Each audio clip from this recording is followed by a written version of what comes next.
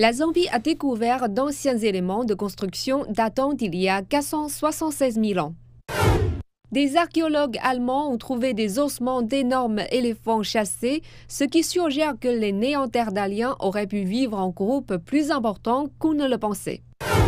Les États-Unis ont découvert des empreintes de pas humains datant de 23 000 à 21 000 ans.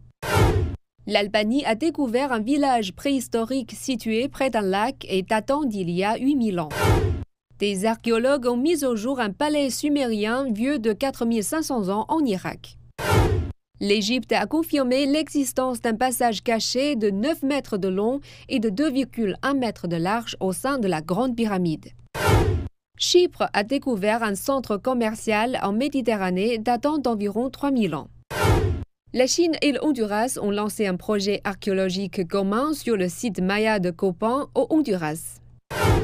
Une étude menée dans la péninsule du Yucatan suggère que le manque de précipitations est à l'origine de l'effondrement de l'ancienne ville Maya.